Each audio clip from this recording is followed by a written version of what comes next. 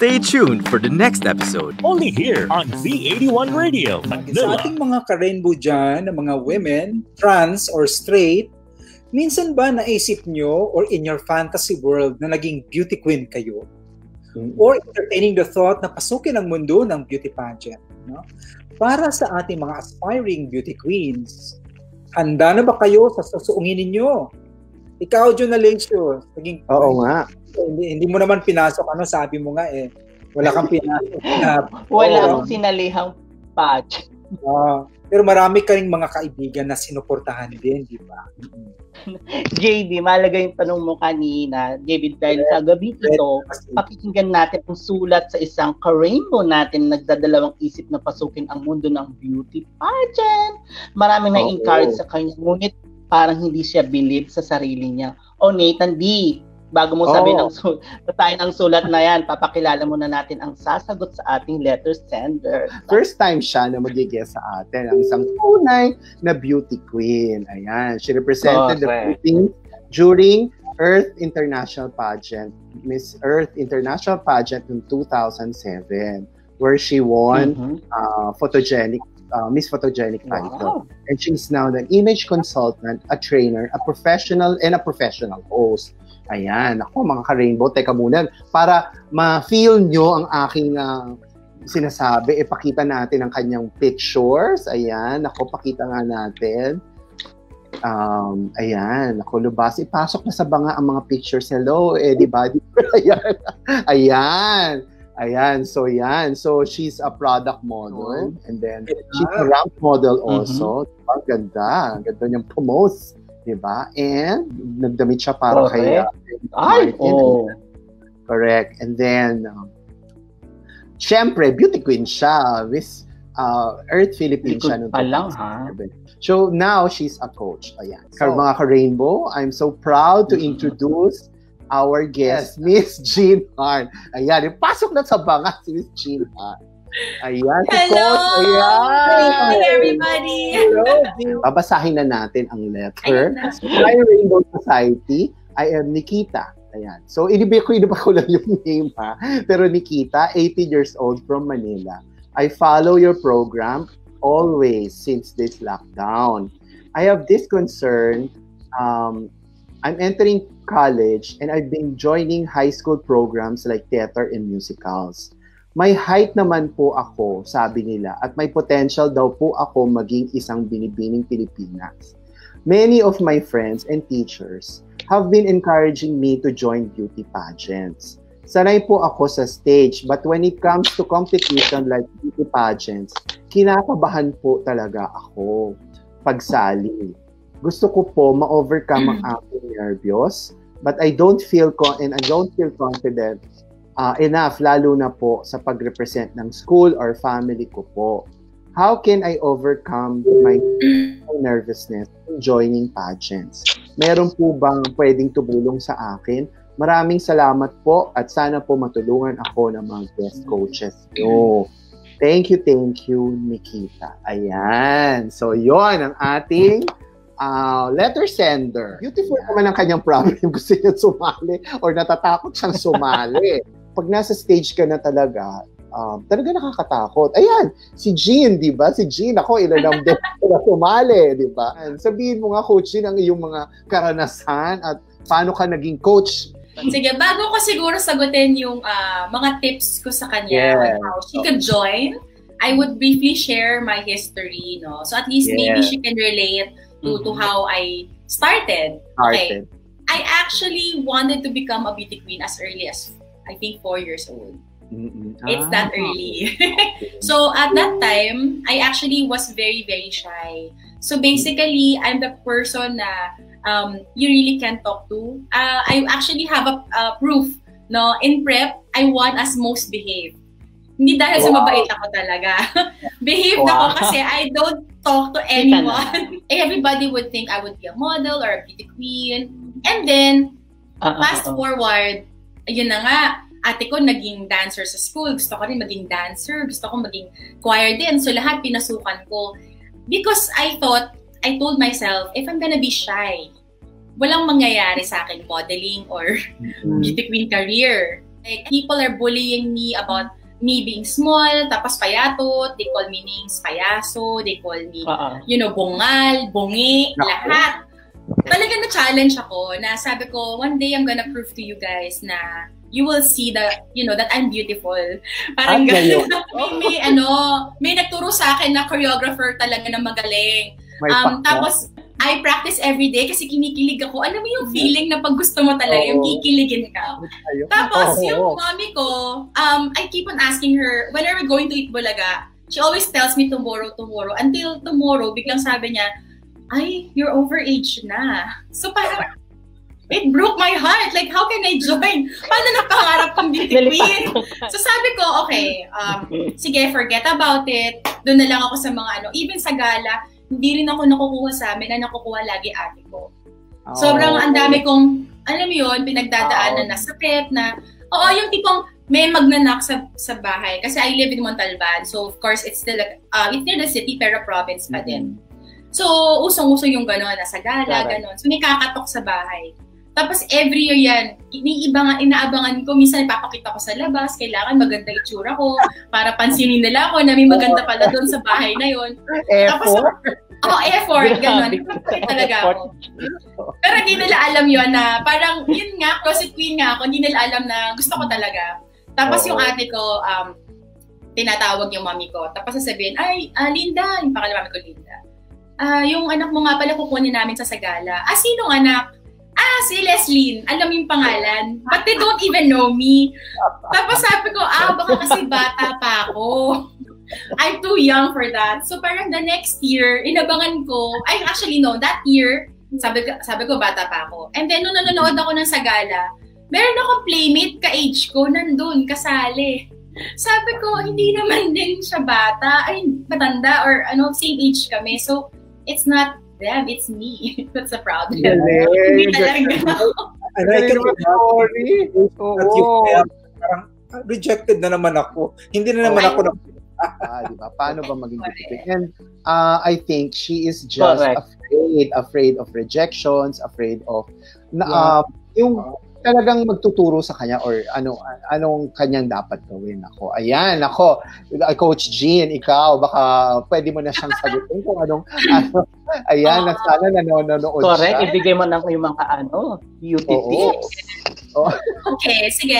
So Nikita, I hope you're listening right now because I really love um, how you wrote your letter with all honesty. Na parang sinasabi, in-explain mo nga sa amin na you're scared kasi normal yun. It's actually uh, the first step to overcoming something. You have to be aware na ito yung, ito yung kailangan mong gawin or i-improve. Okay, so number one, ang masasabi ko is, um, before I share my five tips, meron akong five tips is um, pinakamahalaga for me is knowing your purpose. Kasi for me, like when I was Mhm. younger, ang talagang gusto ko is, mapatu- syempre bata ka pa, di ba? Parang yung, yung idea mo is very shallow. So ang idea ko lang that time is, ang goal ko, mapakita sa mundo na maganda din ako. Or, or ma-develop din yung sarili ko na hindi ako mahihiya because I want to be a beauty queen and I want to be a model.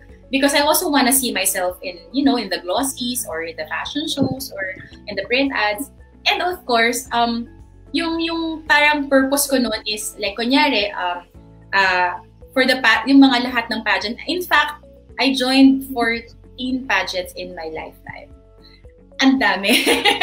Nagsanga-sanga lang yun ha. Hindi ako ano, hindi naman lahat ng contest kailangan kong salihan. It's just that um parang one contest would uh, when I win there, I have to compete and represent to the next one. Actually, lahat yun it uh, it was all part of my preparation to the big pageant that I won, um, which is a national competition and, and also a possible uh, way for me to compete and represent for the Philippines, which I also did. So yeah, knowing your purpose is very important kasi kung wala kang purpose, wala kang pinangahawakan, kailangan merong nakingiliti sa loob mo, merong something na parang nagpo-push sa'yo talaga to do this. Because you know, being a pageant uh, uh, pageant uh, per candidate, okay, or even a beauty queen, especially if you win, um, if wala ka ng purpose na yon inside your heart, it's if it's not burning inside your heart, you cannot make it because there's so much challenges. Mahirap. It's not as easy as waving to the cameras and smiling. It's not like that. Okay, so know your purpose first, Nikita. What makes you join? What would why do you want to join? What why would it make you happy? Okay? Okay, so given that, I have my five tips. So, number one is you have to prepare and practice. Pero before I share yung prepare and practice, like ang sabi nga ni Mother kanina, I agree with Mother John. Uh, you have to also have those qualities na possible no na maging candidate kasi ang hirap naman natin sabihin everybody can be a beauty queen but there's also uh, an age requirement a height requirement you know um and, and a body requirement so sabi naman ni Nikita no Nathan may height naman siya so check mark meron naman siyang uh, meron nung siyang mag humarap sa stage. So check, at least yung stage presence, kaya niya nang i- ipakita or meron na siyang experience. Okay? So, so those things. So if you have those qualities that you think can be a candidate or a possible winner, of course, go for it. Now, prepare and practice. You have to prepare your body. How do you prepare your body? Prepare your uh, body by working out, eating healthy, not dieting and, you know, as in like, bawas ng kain. Eat healthy, eat right. Also, you have to prepare your makeup. You should know how to put on your makeup. So, yung makeup kasi, usually may mga pageants na nandyan yung mga sponsored makeup artists. Uh, during my time, I really don't like to uh, have my makeup done by anyone else but me. Um, there are times na, sige, pwede akong pumila, pero kasi ang hirap din pag nasa pageant na may sponsor that you have to line up and be stressed about waiting and things like that. So when I competed in um, majority of my pageants, especially for Miss Philippines Earth and Miss Earth, I did all my makeup. So it's best that you know how to put on your own makeup. Yeah, so you have to practice that. And then you also have to practice your smile because it's very important. Honestly, um, believe it or not, I don't really smile beautifully before um, because I don't really, I'm not really that confident. So there's a lot of techniques pa I can't share here because I, it will take too long how to really have a good smile. But yeah, you have to also practice your smile. Practice your walk as well. Practicing your walk with a mentor, looking at videos, um, getting a benchmark. Yan. So, you see naman a lot of walks by different um, ladies na may mga Catriona walk tayo, di ba? The lava walk. Yes. Pero kasi ako, personally, no, Nathan, I suggest, no, for the pageant girls, I, Mhm. I've seen and I've watched several pageants na may mga ginaya si ganito, looking at, you Yeah. know, doing the walk. But I really want to see when I'm judging, honestly, yung own walk nila. Kasi when I see na ginaya nila yung walk, Natural. exactly No, natural. No. Yes. Kasi always remember the cliche um, advice when people are um, being asked or beauty queens are being asked, uh, what is your best tip, no? Always be yourself. Yun lang, basically what I'm sharing with everybody is Yeah, uh, fighting fighting your inner fears is you know one of the most important things not only for pageantry but also in any career yeah. yeah many other areas of our life. The most Yeah. important thing is we have the courage to conquer our fear. Cheers. So mga ka-rainbow, bawat isa sa atin narinig natin from Miss Jean Hart ay may gustong abutin na pangarap. Naniniwala ako na unang-una ang pagiging confident at willingness to take the risks are essential ingredients para sungkitin ang ating mga pangarap. Mangyayari lamang ito when we gain some degree of self-knowledge, may tiwala tayo sa ating sariling kakayahan, and when we are mindful of where we are going. Sa aming pagbabalik, pakinggan naman natin ang ating energetic na super lola na may daladalang tips para sa ating mga aspiring beauty queens. marami tayong mga memorable na mga sinabi ng mga tao, 'di ba? Pero ano yung isang napaka-memorable na sinabi ng isang beauty queen na medyo naging meme, 'di ba? At ano 'yon? Yun yung major major. O, 'di ba? Parang, part of our language na nga yung major major na yan eh, right? And can I just share something though? Alam niyo ba, hindi naman totally mali ang sinabi niya. Hindi naman mali na ulitin mo yung major, major. It was just the way she said it. Kasi yung pagkasabi niya, alam niyo kung paano, parang di- direct translation from Tagalog to Filip to English. Ano sinabi niya kasi, di ba? Let me quote, di ba? Ang sabi niya kasi, I can say that there's nothing major, major problem that I've done in my life. Guys, alam nyo kasi, pag ginawa niyong translation yan, ang ibig sabihin niyan, wala pa daw siyang bonggang-bonggang mistake na nagawa sa buhay niya. Pero ang problema, pag in-English mo ng diretso, medyo hindi yan. At hulaan nyo, ano, gusto ko bumalik si, sila sa, ano, may papagawa kasi ako sa inyo sa susunod, Ah, okay. sa susunod na sasabihin ko eh. Alam niyo pa kung ano yung isang dapat i-watch out for ng ating mga beauty queens? Nathan, Nathan D. Jonalicious JB, can you come back? Because I really want Ayan. you to be part of this program, this this Ayan. segment. Ito Ano yon? alam niyo ba kung ano yung hirap pa yung ibang mga beauty queens natin? Hmm. Yung F tsaka P na pagpapalit. Oo. Totoo yan. Ako, Diba? ganyan. Bulol-bulol. Ito pa, tandaan nyo, eh ang pangalan pa naman ng country natin, Philippines, right?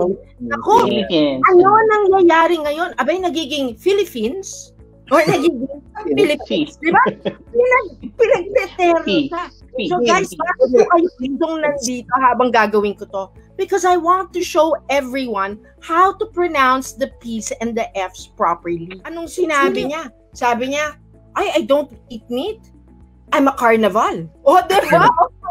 So, alam niyo, Melanie lang talaga ang makakagawa ng ganyan. Oo. Diba? Yan, Pero, yung mga, yan yung mga sound alike na confusables. At saka eto pa. Alam nyo, minsan, kung ano-ano ang ginagawa niya dun sa idiomatic expressions. Meron siyang batang artista na sinabihan, alam mo, ang galing-galing mo. You should go to the States. You can sell hotcakes. Oh my God! Imbis na you can sell the hotcakes, di ba? At yung kapatid niya, sinabihin niya, do not judge my brother. He is not a book. Oh, di ba? Pero, At talaga, ito yung cute na cute, okay? In-interview siya ni Boy Abunda, sa, tinanong sa kanya, so Oh. you're not so active in showbiz anymore. Hulaan niyo kung anong sinagot niya. Ay, okay lang yan. Matagal na naman akong semi-retarded eh. Oh my God! Di ba? So, dapat, so, yun talaga. no, ako, I just want you to realize something. Grammar is important when you're communicating. mm, But what's even more important, and this was said by our queen maker and our beauty queen, it's actually the confidence. Tama? Yeah. Will definitely agree. Yes, grammar will definitely help. Whether we're a queen in a beauty pageant or we're a queen lang sa buhay natin at sa bahay natin. Alright, once again, maraming salamat sa ating mga guests ngayong gabi at maraming Thank you for salamat. having us. Thank you for inviting us. Thank you. Thank you. Thank you, Grammar Grama. Maraming salamat mga ka-Rainbow na sinamahan niyo kami ng dalawang oras sa ating inspiring and very informative pagkahan. Tell us in the comment. Don't forget to hit the like button and share this video with everyone you know.